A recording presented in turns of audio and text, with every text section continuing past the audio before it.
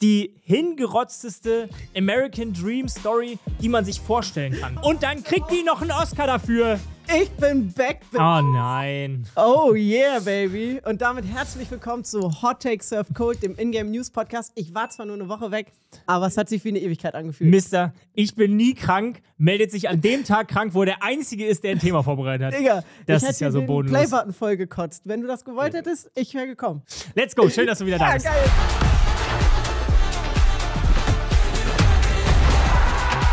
Der Release von EAFC 24 steht an. Und wir haben ja schon mal in einer früheren Folge drüber gesprochen, über Ingame-Käufe. Äh, ich glaube, es war die zweite oder dritte Folge. Checkt, Mm. Gute es, Folge. checkt es auf jeden Fall aus. EA hat es tatsächlich geschafft, die neue Fußballsimulation noch mehr Pay-to-Win zu machen als jedes FIFA zuvor. Heavy.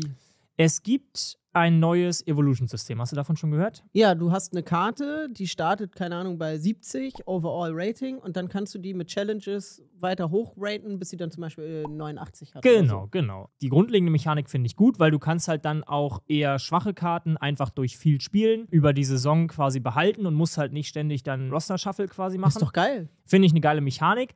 Jetzt gab es einen Leak von Foot Sheriff, das ist ein Mhm. bekannter Insider auf Twitter, der sich viel mit FIFA beschäftigt hat und jetzt eben mit EAFC. Der schrieb, es gibt zwei Varianten für diese Upgrades. Mhm. Ein kostenloses und, du ahnst es, ein, Bezahlt es. ein bezahltes. Oha. Und das bezahlte ist angeblich besser. Hä, warum? Also du kriegst angeblich bessere Stats mit deinem Upgrade, wenn du das Upgrade äh, bezahlst. Hä, was ist das denn? So. Und es kostet laut dem Leak, wie gesagt, alles noch nicht bestätigt, 50.000 Coins oder Das ist gut. 1000 FC Points. Also einen, 10 lock- einen Euro? lockeren Zehner. Für ein Upgrade. Für ein Upgrade.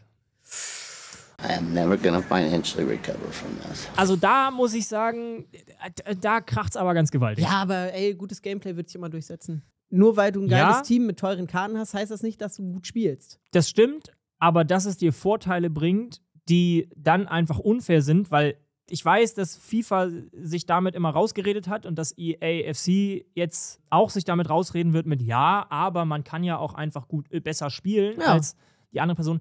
Das stimmt alles, aber es ist einfach faktisch ein Vorteil, Geld in EAFC zu stecken, weil du dir die 2% einfach Vorteile erkaufen kannst. Aber 50.000 Coins sind doch eigentlich gar nicht so viel. Naja, aber überleg mal, du kriegst pro, wenn du reinsteigst, haben wir vorhin schon Pro kurz drüber Win gesprochen, so 400, 450 Coins. 450 Coins. Wenn wir so rechnen und überschlagen, spielst du über 100 Matches für ein Upgrade. Das ist schon, ah, ja, das ist schon krass. Aber So, ey, Dicker, du kannst auch ein einfach, Match, äh, ein Match dauert 10 Minuten. du kannst aber auch einfach Thomas Müller ziehen und äh, für 80.000 verkaufen. Und dann hast du ein Upgrade. Ja. Wir sind natürlich bedient, können Sie sich ja vorstellen. Dann kannst du auch Thomas Müller im Kader behalten. Meinst du, die ändern das noch? Also, dass sie runtergehen, dass sie halt sagen, ey, nicht 50.000 Coins, sondern 25.000 oder irgendwie sowas, weil sie ja am Anfang gesagt haben, so, wir wollen mehr auf die Community hören und so weiter und dieses, das erste EAFC soll alles anders machen. Ja, weiß nicht, Bruder, wenn du, mehr, wenn du mehr auf die Community hören willst, dann lass halt die Bezahlscheiße raus. Ja, okay, So. ja. Klar, da steckt irgendwo ein Reiz drin. Das ist ja wie früher Sammelkartentrieb, so Pokémon, Yu-Gi-Oh! Karten, was auch immer man früher Mhm. gesammelt hat. Es war immer geil, ein Booster-Pack aufzumachen. So funktioniert es ja. Das ist ja dieser Suchtfaktor von Sammeln. Aber, Dicker, das macht doch das Spiel nicht besser. Ich finde dieses ganze, dieses ganze Ultimate Team-Konstrukt einfach so unglaublich shady und ich finde es so, so, so weird, dass wir in Deutschland dann seit Jahren darüber reden, soll man E-Sport zum Sport machen oder nicht und dann machen wir genau das Spiel zum E-Sport in Deutschland, was halt diese Glücksspielmechaniken aber sowas von unter die Decke pusht. Also, ich, gut, weiß okay. ich nicht, mit der, das Spiel mit der wahrscheinlich jüngsten Zielgruppe auf dem Gaming-Markt, abgesehen von jetzt so äh, Nintendo Games Fortnite. oder Fortnite, aber ich finde diese Mechanik an sich geil, weil ich bin immer dafür äh, in allen Spielen, wenn du mir was gibst, das ich verbessern kann, dann gib mir sinnvolle Challenges, die Spaß machen und die mein Spiel bereichern. Also wenn das zum Beispiel ist, ich will bei Haris Tabakovic, der aktuell äh, Topstürmer bei Hertha, will ich halt, dass der, dass der Schusswert sich erhöht, dann muss ich halt fünf oder 15 Tore von außerhalb des 16ers machen. Ja. Das ist eine geile Challenge. Weil dann muss ich mein Spiel ein bisschen anpassen, ich muss halt ein bisschen neue Sachen ausprobieren. Ich lerne vielleicht auch was dabei, weil ich ja selber besser werde Mhm. äh, damit. Und dann werde ich dafür belohnt, indem meine Karte besser wird. Geile Mechanik. Aber warum muss ich dafür bezahlen? Ja, weil es halt Leute gibt, die nicht so sind und Bock haben, schneller ans Ziel zu kommen. Wir fragen einfach mal die Zuschauer. Mich würde mal interessieren, ob ihr 10 Euro investieren würdet, um einen Spieler zu verbessern. Schreibt's mal in die Kommentare. Janik, du als alter Filmfan, was ist dein most overrated Film? Blindside. Ah, dieser Film mit dem Footballer, ja. Team is your family, Michael. You have to protect them. Tony here's your quarterback. You protect his blind side. When you look at him, you think of me. Yes, ma'am. Ja, der Dicker, ist wirklich. der ist- der läuft also- andauernd im Fernsehen. Wie und viele- andauernd kommen die Wie Leute an und sagen, viele das ist so Leute emotional. mir schon gesagt haben, das ist so ein toller Film, der ist so gut, der ist so emotional. Der ist und scheiße. Sandra Bullock ist so gut in dem Film. Dicker, jede blonde Frau hätte das spielen können. Das ist nicht Sandra Bullock, die den Film carried.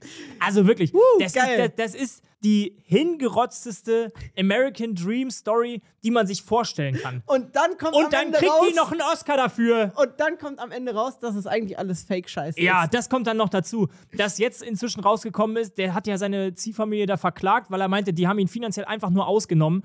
Aber wichtig, dass alle für den Film äh, immer die Taschentücher bereitstellen, weil der ist ja so emotional und das ist ja so eine herzensgute Frau. Ich habe leider keinen. Film, sondern eine Filmreihe. Ich sag's jetzt einfach: Twilight. It's time. Yes, it is. Ja, okay. Dicker Twilight nicht gecheckt, aber alle hast haben Twilight das nicht früher, verstanden? Naja, nicht gecheckt, warum die das Ach so. feiern. Weil früher Ich haben das. dachte, du hast vor Twilight gesessen und gesagt, ich verstehe nicht, was da passiert. Ich dachte, er ist ein Mensch, aber Ja. eigentlich ist er ein Vampir. Warum glitzert er? ich hätte auch noch ein, Du hast noch eine Filmreihe, Ich, ich hätte noch eine Filmreihe für dich. Der Hobbit. Das ist ja die, Was? das ist ja die bodenloseste Scheiße, die ich je gehört und gesehen Cut. habe. Cut. When faced with death, what can anyone do? Du kannst, du kannst, nee, nee, nee, nee, du, du kannst mir nicht, gar nicht du erklären. kannst mir Der nicht Hobbit? erzählen, dass du die Geschichte vom Hobbit in drei, zwei Stunden Film erzählen musst. Das ist so schlecht. Dieser Film sieht, diese Filme sehen alle so kacke aus. Die sehen voll geil aus. Die sehen überhaupt nicht geil aus. Die sehen aus wie durch ein Bonbonpapier gedreht. Das ist das so war eine der damalige hässliche Style. Scheiße. So hat man damals die Filme Nee. gemacht, 2012 Nein, oder hat man 2013. nicht. Doch, klar. Die, nein, Peter Jackson hat seine Filme so gemacht und Ey, es sieht scheiße aus. die, Hob die drei Hobbit-Filme sind so geil erzählt. Die sind Smaug überhaupt der Drache, Digga. Benedict Cumberbatch, dass du die Unverfrorenheit hast, dich hier hinzusetzen und das zu sagen. Hast du, hast du der Hobbit gelesen? Ja. Digga, das, ist so ein das kleines Buch, Buch. ist so dick. Ja. Wie, wo kommen denn da sechs Stunden Filmmaterial her? Ja, das ist halt Kunst. Nee. Schmutz. Ist Nee, das. das ist einfach nur einfach geil. Schmutz. Also, die Herr der Ringe-Verfilmungen sind alle.